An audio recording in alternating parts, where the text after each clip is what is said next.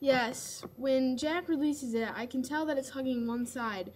And then as it keeps going, I can tell it's hugging the other one. It just keeps swaying back and forth.